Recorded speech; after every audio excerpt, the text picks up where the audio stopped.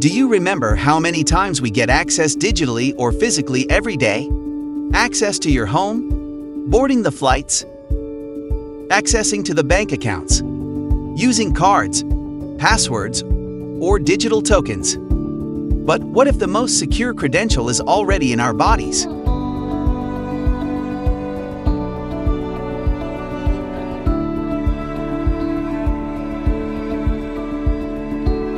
Our technology is designed to make your life easier, more secure, and more convenient.